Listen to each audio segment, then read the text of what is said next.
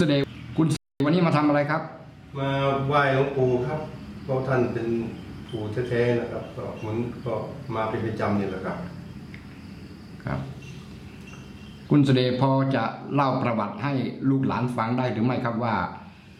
ชีวประวัติหลวงปู่เมาส์มีความเป็นมายังไงครับ บ้านเดิมท่านอยู่ที่บ้านรนหักเลยตำบลรองเมืองรองจังหวัดบุรีรัมย์สมัยนั้นนะครับ ทุกวันนี้ก็เป็น ชุมชนบ้านรนหักนะครับ เท่าที่ถามคุณพ่อซึ่งเป็นบุตรแท้ๆของท่านนะครับ ท่านก็เกิดหนึ่งมกราคม 2428 นะครับ ก็เข้าอุปสมบทครั้งแรก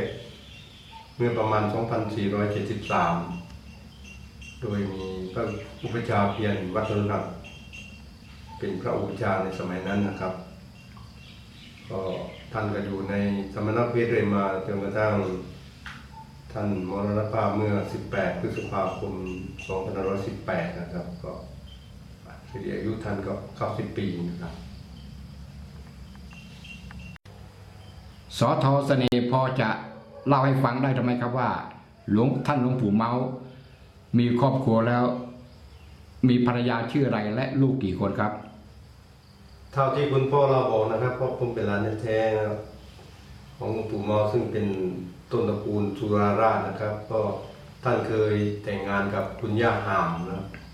มีบุตรด้วยกันสี่คนครับ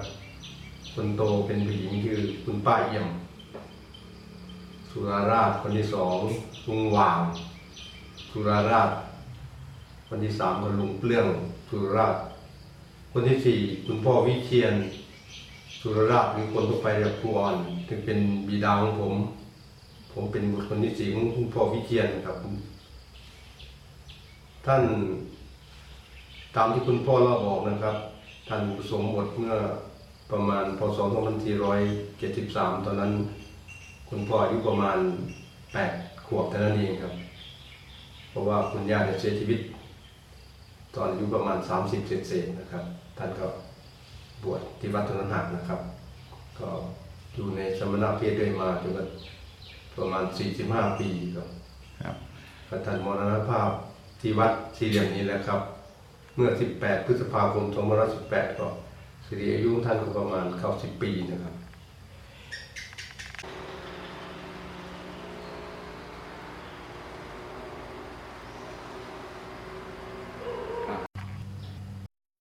ท่านสอทอ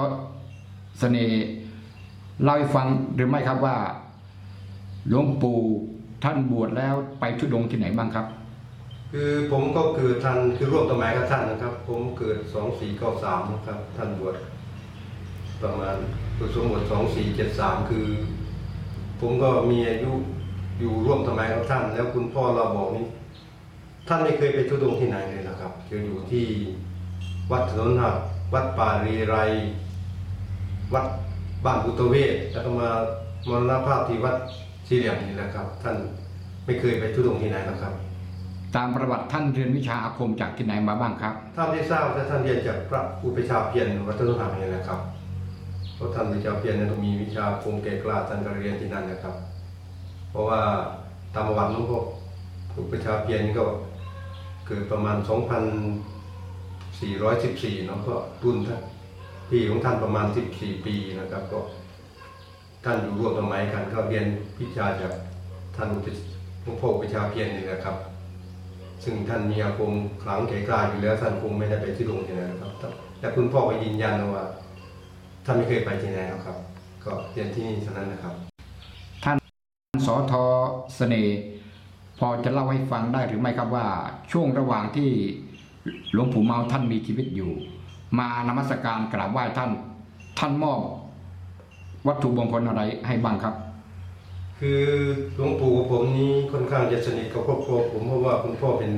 ลูกคนเล็กนะท่านก็มักไปอาศัยแม้มักไปเยี่ยมเยียนที่บ้านค่อนข้าง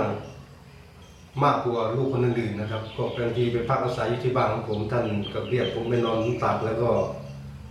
เสกคาถาคมอะไรผมก็ไม่ทราบเนาะเคี้ยวหมากไปแล้วก็ให้ผมอ้าปากแล้วก็กลืนน้ำลายท่านลงไป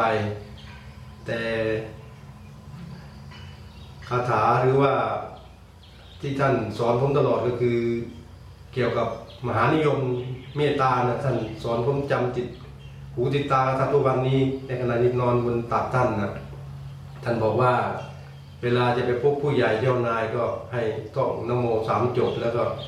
ว่าคาถามหานิยมว่า ตอนไปบอกว่าฉันมาเวทนาขันโทเมื่อตอนกลับก็บอกว่า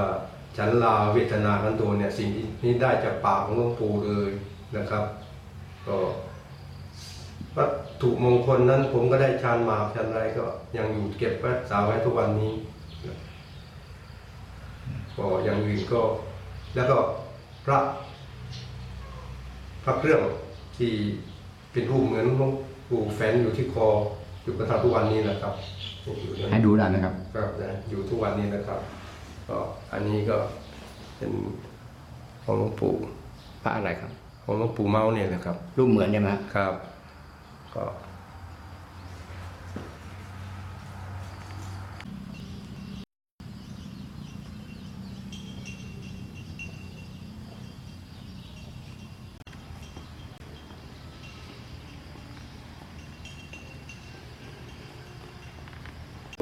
พระอุโบสถหลังนี้เป็นพระอุโบสถ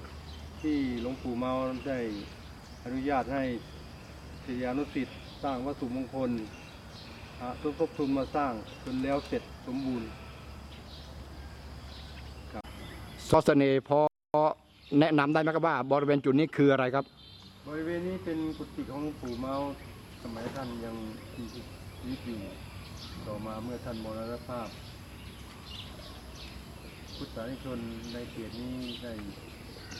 รื้อกุฏิของท่านแล้วเพื่อจะสร้างศาลาการเปลี่ยนซึ่งยังไม่แล้วเสร็จกระทั่งเดี๋ยวนี้นะครับ